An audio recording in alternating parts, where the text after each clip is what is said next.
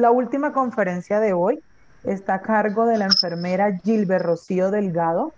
La enfermera Gilbert es especialista en enfermería en cuidado crítico para el adulto, es enfermera en enfermería cardiovascular y cardiología y es actualmente la enfermera encargada del programa de educación y seguimiento de la Clínica Foscal Internacional.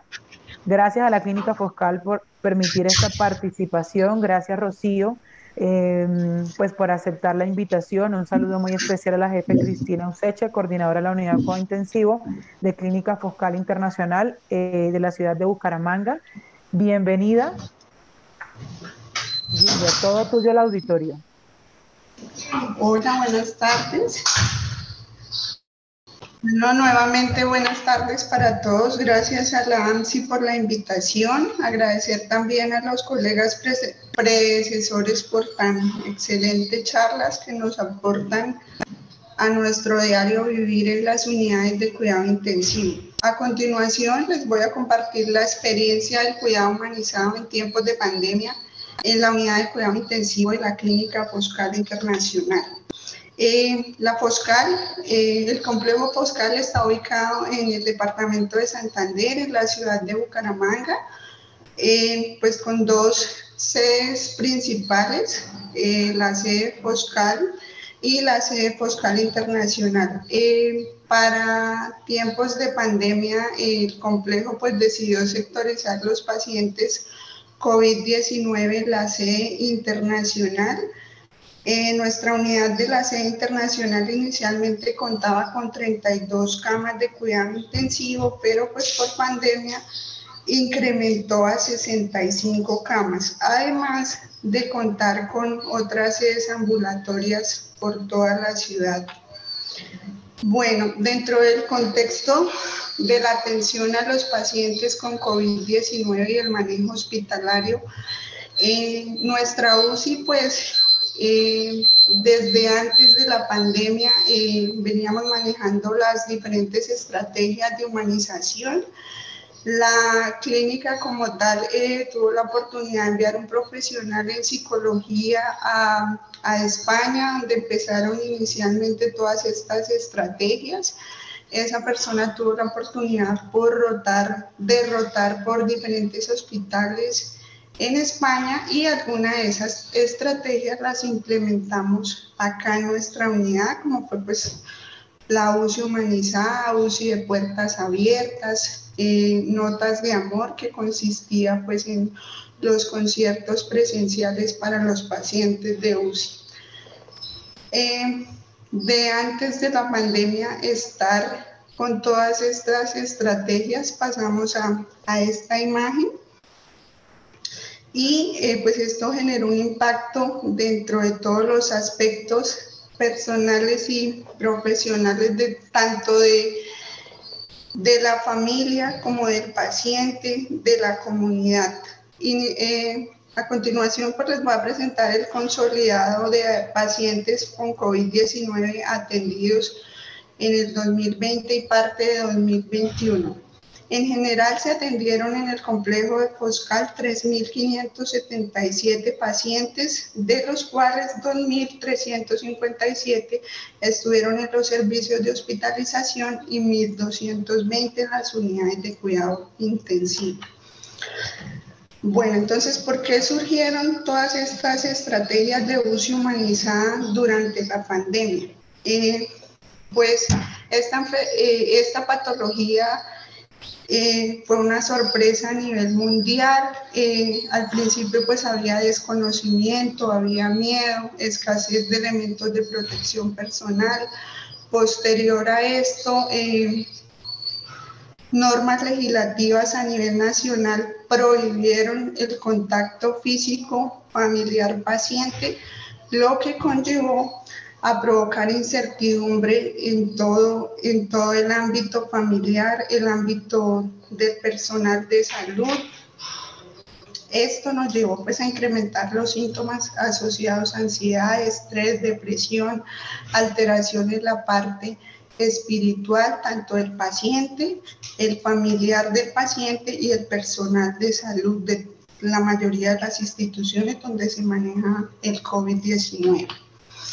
¿Cuál fue el objetivo que nosotros nos propusimos para eh, de alguna manera mitigar esa necesidad que surgió de tener el contacto paciente, familia, personal de salud. Entonces el objetivo planteado fue fortalecer los programas de humanización en los servicios asistenciales durante la pandemia a través de los procesos de intervención multidisciplinar y con el fin de prestarle acompañamiento a pacientes, familiares y personal de salud de la clínica Fuscal. ¿Cómo inició ese acompañamiento? Entonces, como primer ámbito tenemos el acompañamiento al paciente. Entonces, para eh, contarles a grosso modo, pues los pacientes, eh, como lo dije al principio, venían remitidos de los servicios de urgencias, de los servicios de hospitalización y finalmente pues llegaban a las unidades de cuidado intensivo. ¿Cómo se realizó este acompañamiento? Se hizo desde los sitios de origen, desde urgencias, desde los servicios de hospitalización y ya acá dentro de las unidades eh, con el eh, se permitió el contacto del familiar con el paciente. Anexo a esto, pues cuando inició la pandemia, eh, campañas por redes sociales y algunos medios de comunicación, pues no eran como muy adeptos a que los pacientes se internaran en UCI por la falsa creencia de que entraba UCI y pues no eh, iba a egresar eh, pues fallecido o que si lo intubaban se iba a morir. Entonces, eh, de qué manera se trató de mitigar todas estas sensaciones de miedo, de ansiedad por parte de esta triada que manejamos, que es familia, paciente y personal de salud. Entonces se realizó acompañamiento eh, por parte del personal de psicología y principalmente pues el personal de enfermería. Ya estando acá el paciente en la unidad, entonces se procedía a comentarle el proceso terapéutico que se, se le iba a realizar y pues más común era la intubación orotraqueal. Eh, algunos manifestaban pues el no deseo de intubarse. Obviamente el equipo interdisciplinario entraba pues a hablar con el paciente, el intensivista eh, le explicaba claramente previo a una intervención por parte de psicología que lo que hacía era pues tratar de mitigar esas sensaciones que el paciente manifestaba al momento como miedo y sobre todo el miedo de que lo ingresaran a la unidad de cuidado intensivo y no poder volver a ver a sus seres queridos. Eh, ya posteriormente a la intervención del, personal, del profesional de psicología, eh, se le realizaba una videollamada o llamada telefónica para colocarlo en contacto con su familiar eh, más cercano o con el que más alcance tenía, despejarle las dudas tanto al familiar y al paciente y posteriormente pues ellos, la gran mayoría procedía a aceptar los procedimientos. En total de videollamadas y la población atendida en nuestro complejo fueron 6.726 videollamadas, de las cuales 187 se realizaron en la unidad de cuidado intensivo. Cabe resaltar que estas videollamadas se hacían las 24 horas, es decir, en el momento que el equipo interdisciplinario del paciente consideraran necesarios. Cuando no contábamos con la presencia del personal de psicología, el personal de enfermería realizaba esta intervención, tanto auxiliares como enfermeros profesionales. También eh, a diario y en los diferentes turnos se les realizaban las llamadas telefónicas para darle eh, información de primera mano a los familiares sobre el estado de salud del paciente. Otro ítem eh, a intervenir para minimizar el impacto de la pandemia en el paciente y en los familiares era permitirle una visita compasiva. Entonces, ¿en qué consistía esa visita compasiva? Pues primero que todo era para pacientes con pronóstico crítico, eh, que pues se presumía el fin de, de, su vida y pues se le daba la oportunidad al familiar más cercano para que ingresara a la unidad de cuidado intensivo, pues previo a una psicoeducación y obviamente con los respectivos elementos de protección personal para que pudiera ingresar al cubículo de aislamiento en un tiempo aproximado de 15 minutos, el cual pues se les permitía un contacto visual paciente familiar. Eh, eran momentos también de incertidumbre y que de alguna manera pues emocionalmente afectaba al equipo de salud el hecho de ver eh, al familiar de pronto despidiéndose o diciéndole que esperaba ya a su paciente en casa. Entonces todas esas emociones presentadas en el momento causaron de alguna manera una sobrecarga emocional en nuestro personal que más adelante les voy a exponer la intervención que hicimos al respecto. Eh, durante el periodo de pandemia se realizaron 514 visitas compasivas en las diferentes unidades de acá de nuestra institución, lo cual pues tuvo un impacto positivo en el familiar porque de alguna manera se permitió pues expresar eh, sus emociones. Algunos de los familiares eh, tenían 15, 20 días, un mes de pronto de no poder ver a su familiar, sino solo por pantallas.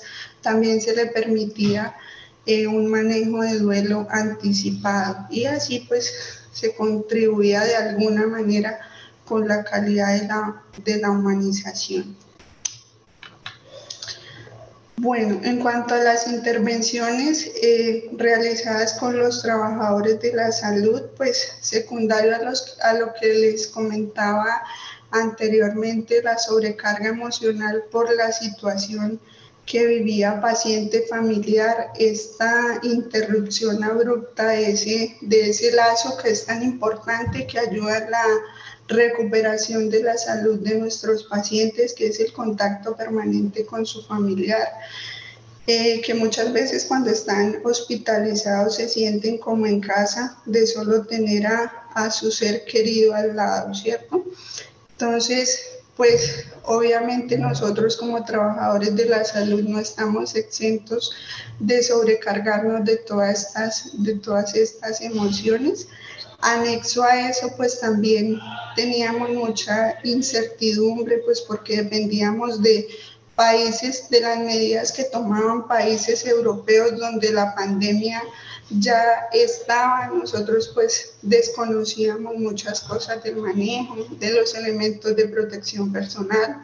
Obviamente en ese entonces la vacuna solo era una posibilidad, entonces todo eso nos generaba angustia. El hecho de también llegar a mi casa, el miedo pues a adquirir la, la enfermedad, el miedo pues a la muerte o el miedo a contagiar a nuestros seres queridos.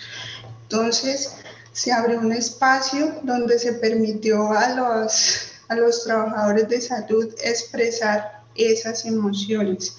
Posteriormente pues la atención en, en las crisis se emplearon pues técnicas de relajación como el mindfulness.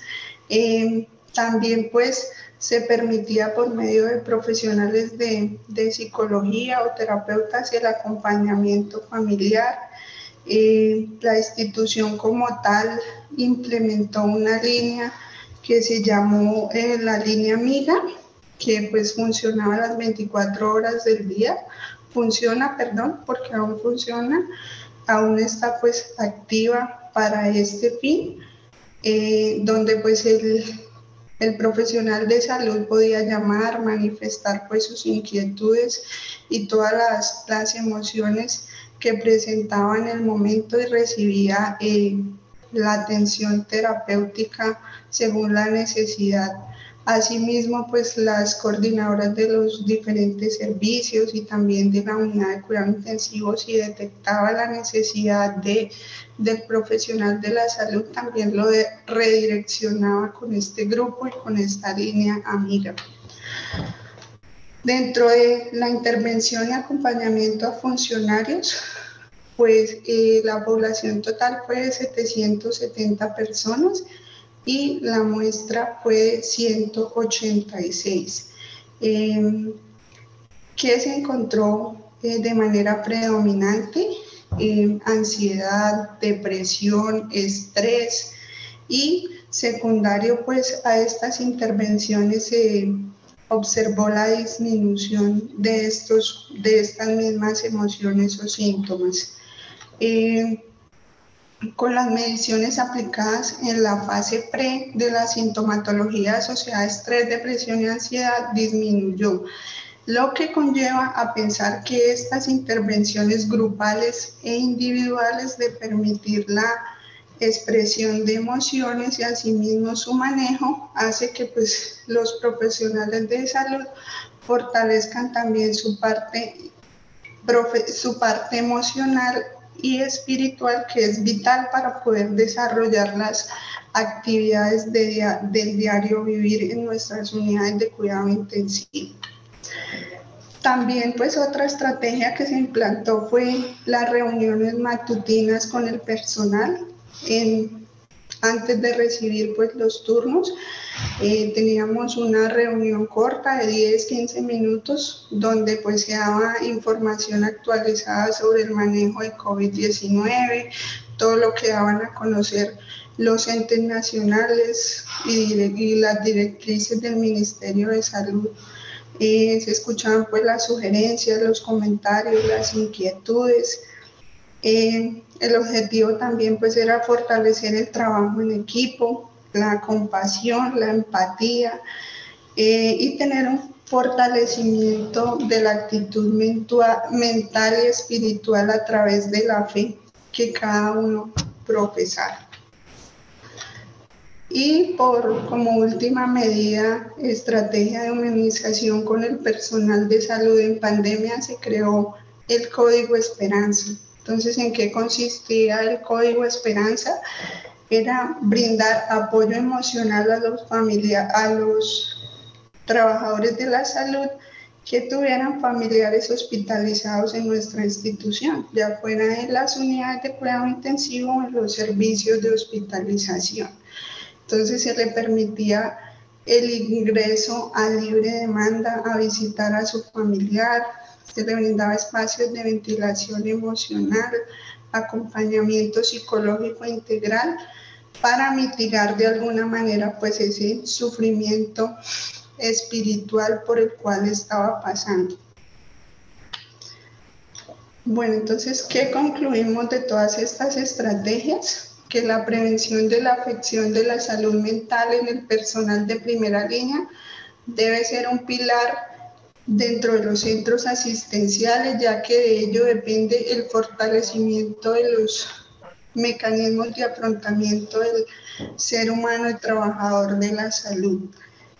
También concluimos que el personal de enfermería representa un gran porcentaje dentro del equipo interdisciplinario de las unidades de cuidado intensivo y además desempeña un rol de alta importancia durante las crisis y pues lo que nos atañe pues es la pandemia, por tanto debe estar fortalecido en todos los ámbitos para dar lo mejor de sí en los procesos de cuidado con el paciente crítico.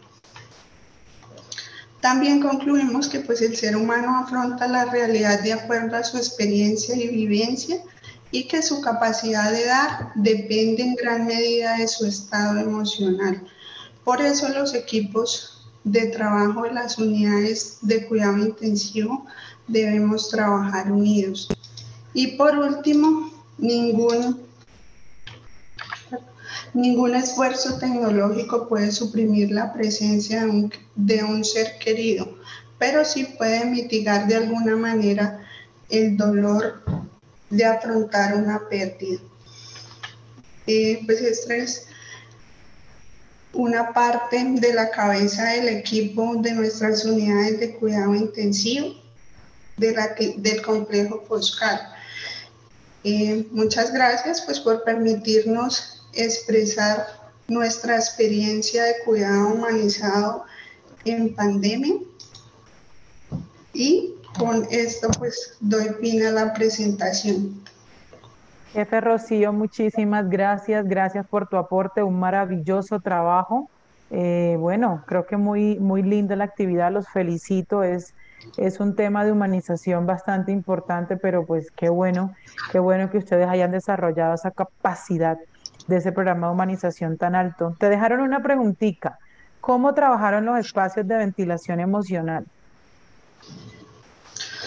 Como ya pues lo había explicado en alguna de las presentaciones, eh, primero pues se creó una línea amiga, se detectaba también la necesidad del personal y eh, por la parte de las cabezas, por decirlo así, de los diferentes equipos de trabajo, coordinadores, tanto médicos como enfermería, se detectaba la necesidad del personal para permitirle expresar esas emociones de manera individual y de manera grupal, pues con un equipo encabezado por psicólogos clínicos que también pues eran los que le prestaban el, el apoyo emocional al familiar y así, de acuerdo a la expresión de esas emociones, generar la intervención que el profesional de la salud necesitaba en el momento. Ok. Y me dicen, ay, espere que se me fue el otro mensaje. A ver, te dice los, ah, bueno. No, no, no, se me fueron todos los mensajes. ¿Cómo abordaron las familias cuando se tenía que aplicar protocolo COVID de su familiar fallecido? Eh, pues inicialmente en cabeza el intensivista y la enfermera profesional eh, se les realizaba videollamada, usamos bastante la tecnología, eh, pues siempre se acostumbraba que fuera el mismo familiar que recibiera la información para que hubiese continuidad como en el proceso, ¿cierto? se le explicaba pues ese procedimiento, obviamente eh, la mayoría de personas pues eran resistentes al hecho de no poder ver a su familiar, de no poder hacer pues los diferentes ritos según las creencias. Eh, como última opción pues se les planteaba o se les explicaba que era una normativa a nivel eh, nacional pues la cual no permitía que se le volviera a su ser querido para que pues ellos pudieran como darle ese último adiós, pero pensando en eso pues eh, creamos la visita compasiva que digamos que mitigó un poco esa necesidad, ¿cierto? Y se le permitía pues a un familiar cercano ingresar a despedirse de él y hacerle videollamada con los diferentes familiares y así de alguna manera sentían que se podían despedir de ellos. Ok. Jefe Rocío, muchísimas gracias por tu participación. Nuevamente un abrazo a ti, a la jefe Cristina, gracias a la Foscal Internacional, pues por habernos permitido eh, ver y tener esta experiencia tan maravillosa de hoy. Eh, les acabamos de enviar una encuesta de satisfacción de cómo les pareció el primer día. Eh, yo les dejé igual mi correo en el chat está vocaloenfermería.org.co. Saludos a los colegas de Paraguay, México, Argentina, Nicaragua, Ecuador, Bolivia, Costa Rica, Perú, México, a todos los colegas que están desde todos los rincones de este maravilloso país.